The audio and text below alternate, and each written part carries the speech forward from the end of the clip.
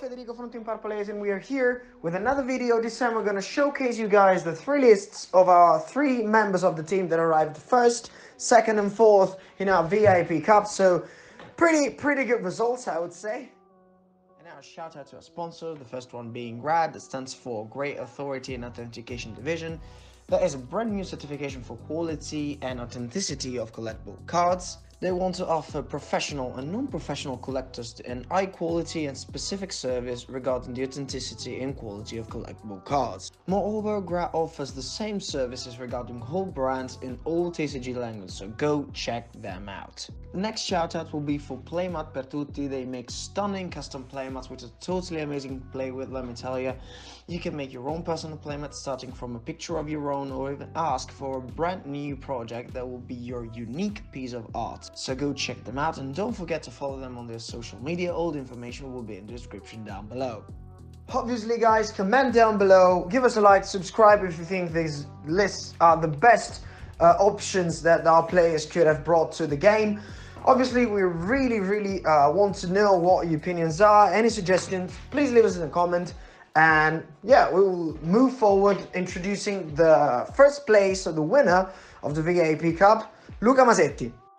You probably know him as Tegalek Online, and let's not be uh, falsely modest here. He's the best online player I've ever witnessed playing. We're waiting for, for a real event so he can top easily an LCS on a YCS.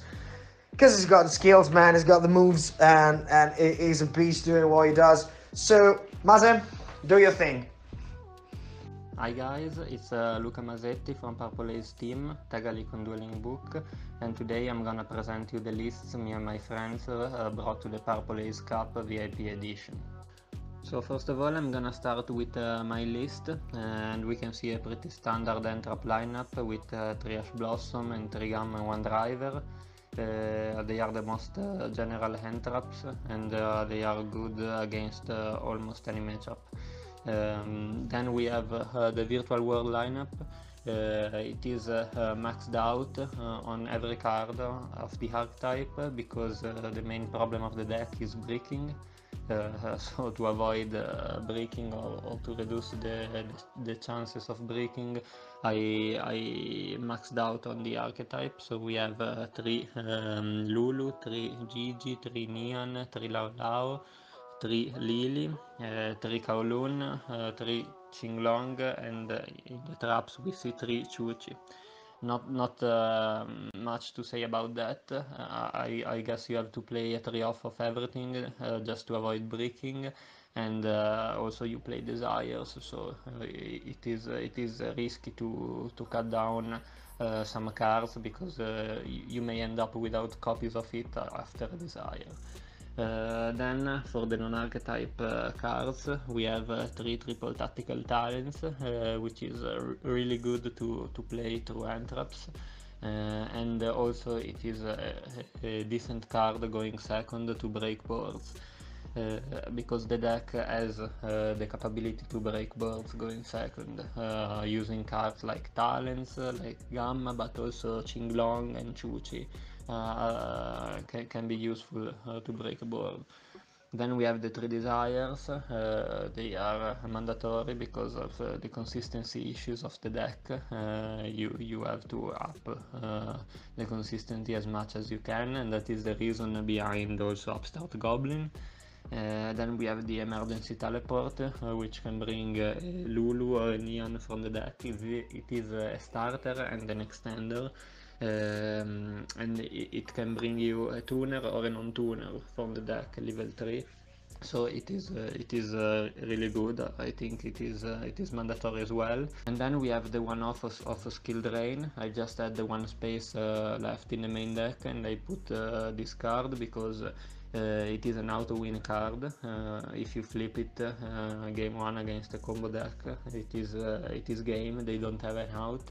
And the deck is uh, pretty capable of playing under skill drain because all the effects um, activates in end. So you can uh, play your archetype as, uh, as skill drain wasn't on field. Uh, and um, you just put big bodies on board and uh, have a Chuchi pop and usually other decks can, can't really play under skill drain so in some turns you will be able to, to win the duel.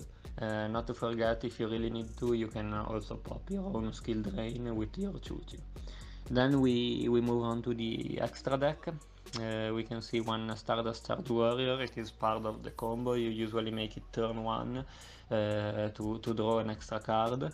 Uh, Coral Dragon, it is an, another level, level 6 uh, synchro, uh, but it, it is tuner, so it is needed as well. It makes you draw a card when you link it away, but sometimes you, you need to make a level 6 tuner, and sometimes you, you, may, you need to make a level 6 non-tuner, so both Stardust and Coral are needed. And then we have the Juju, which is a good archetype card, um, and sometimes when, when, you don't, you, when you don't have nothing, you can try to pass on it, because if you have two monsters with the same type and attribute but different name in your graveyard, it cannot be destroyed by battle or card effects, so it can be really hard to out. Uh, and you can try to stall behind it and also the second effect uh, that uh, sends a card from from field to graveyard can uh, can come in clutch sometimes uh, then for the synchro 9s we have um, Crocodile, uh, you, you make it before going into a VFD uh, to draw an extra card, Cloud Castle, it is uh, needed uh, for, uh, for particular combos to extend into VFD or double VFD when, when, you, when you weren't supposed to do that. Uh, without Cloud Castle, Vermilion, uh, it is uh, super useful in this deck because it can be used um, to, to pop uh, opponent's card but also to pop himself and to add uh, back uh, one tuner from your banished cards so you can use it in particular situations. For example if you need uh, Lao Lao and you don't have access to it you can uh, Foolish Burial it uh, with another virtual word name. Uh, and then uh, banish it for Vermilion popping himself and you add back Roshi and then you, sum you summon Roshi and um, make a cloud castle which brings back Vermilion and you are you have VFD when you weren't supposed to have VFD. Then we have the Shen Shen, not much to, to say about that, the best synchro 9 of the deck. Uh, and um, and that's it for the synchro 9s. Then we have uh, the Solkin package with Solkin and Crystal Wing. Uh, I, I choose to play it because um, it is an extra out to Dragoon and it is a way to put a negate before uh, going to VFD uh, if you have en enough uh, hand. Um, and also Crystal Wing, it is uh, pre pretty hard to out. Uh, if, if you just stand on, on the Crystal Wing Chuchi, sometimes it could be enough, maybe if you have an end or something like that. Um, then we have one uh, Psyframe Lord Omega. Uh, because uh, sometimes you drop gamma in your turn and uh, you, you can go straight into omega and rip another card from the opponent's end um, and uh, you, you, could you could also cut it because driver it's a, level 6 non-tuner so you, you can uh, use it to to um, synchro climb and to make a synchro 9 and stuff like that but I really liked omega so I'm um, keeping it in then we have um, XYZ lineup with uh, one Breaksword. Uh, rank 3 it is really useful because you can make it really easily and it can pop a card from your deck, uh, from your, uh, it can pop a card from your field and your opponent field, so maybe you can pop even your own Qinglong to have it in grave if you need to and um, and uh, in, you can go into battle, beat over something uh, and orbit into something and then in phase 2 you can make Zeus over it and uh, clear the whole field. Then we have the Utopia, uh, it is uh, in, in there mainly for, uh, for Dragoon, to have an easy out to Dragoon because when you summon it it makes the opponent monster go to go to zero attack so you can uh, easily beat over Dragoon and in main phase 2 you can make Zeus over it again and then we have of course Zeus and uh, 2 VFD and not much to say about that, the best card in the deck. Moving on to the side deck, we can we can see I chose uh, Trinibiru. Uh, 3 Droll Lockbird, 3 Lancia, 3 Dark Ruler No More, 1 Harpy's Feather Duster, 1 uh, Red Reboot and 1 Imperial Order. So what is the reasoning behind that? Um, mainly I was scared about combo matchups uh, and going second against them because of course when you go first your plan is making VFD and winning the game on the spot but when you go second against matchups like uh, Dragon Link or um, Infernoble it, it, can be really hard to break the board so uh, I, I, I wanted to have uh, a pretty strong uh, hand trap lineup to side in when going second against those decks. So that is the reason behind the 3 Nibiru and the 3 Droll. Droll is mainly because uh, because of Dragon Link, which was uh, uh really played in the last format, really popular. And uh, 3 Lancia for the mirror match, because of course in the mirror match if they make VFD uh, you lose usually. And then we have 3 Dark Ruler no more, uh, against, uh, again for combo decks, but it can be useful in a lot of matchups, for example, even uh, even against Dino, uh, it can be good. And then we have a, a small back removal package, which is uh, one Harpy's Feather Duster and one Red Reboot. Um, I I played just just this because uh, it was a small tournament with top players and uh, I wasn't expecting uh, uh, back row decks but combo deck. Uh, so I I didn't put uh, put in like twin twisters and stuff like that but I wanted to max out on hand traps and I think uh, the choice paid out. And then we have one Imperial Order to side in when going first, uh, because it can be uh, again an auto win card like Skill Drain. And I think that's all for my list. Uh, now I can move on to my friends list, which uh, as you see will be very similar. So the, uh, the list um, Federico Ravanetti brought, uh, detto il pezzente, and we can see that the main deck is uh, identical to mine, with the exception of Skill Drain, switched with Imperial Order, and the reasoning behind the card is the same, they are both auto win cards going first, and Imperial Order can be good also in the mirror in the mirror match uh, so maybe choose Imperial Order over Skill Drain for that reason. And uh, also the extra deck is uh, are the same as mine uh, so I'm not gonna return on that. We we can see uh, some small differences in the side deck. Uh, it was same as me Trinibiro and Trilancia uh, that is for uh, mirror match and combo matchups. Uh, like Infernoble and Dragon Link uh, because we are talking about last format. Uh, and uh, 3 Dark Ruler No More also for combo matchups. And then he, he, has got 3 Twin Twister, 1 Harpy's Feather Duster, 1 Red Reboot and 1 Skill Drain. so RP and Red Reboot are the same as mine but he, he, he chose 3 uh, Twin Twister while I choose 3 Droll.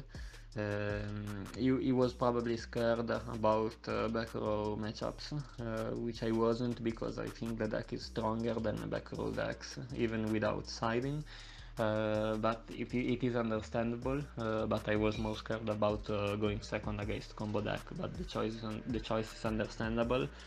Uh, of course, if, if you play rated on Dueling Book or stuff like that, maybe you would uh, you would put in uh, three Twin Twister, or uh, in in a longer tournament where you play lots of different decks. And the Skill Drain, uh, I don't have to return on that. So I can move on to Lorenzo Marcato's list. We can see that the main deck is uh, uh, really similar to mine. Uh, he's got uh, again the Imperial Order in the main deck in the spot of the Skill Drain. He chose to play um, one Call by the Grave in the main deck, which is fair enough. It can be helpful against hand traps.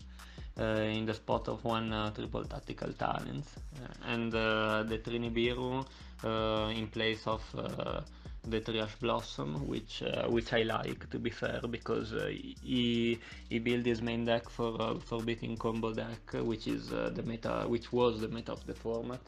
So um, it is an understandable choice and uh, the the extra deck again is uh, the same as mine uh, so not, not not as much to say about that and we can move on uh, we can move on to the side deck uh, which is really spicy Uh, we have one Pankratops. It is a good going second card against almost any matchup you can side it in. Uh, Ghost I guess to be spicy and to punish uh, uh, Infernoble, for example, for using his old first effect.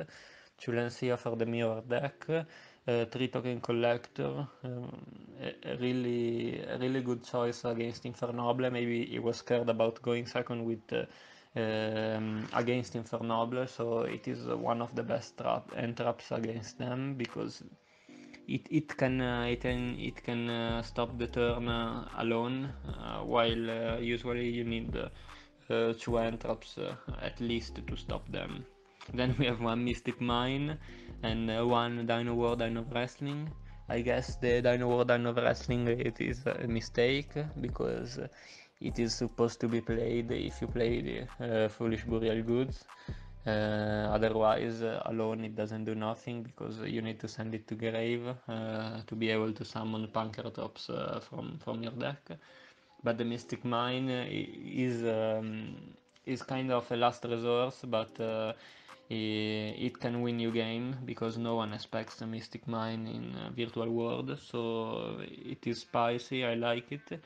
Two Dark Ruler, uh, okay, same reasoning from the others uh, one Harpy's Feather, one Attribute, and one Skill Drain, and I'm, I, I'm not gonna return on them.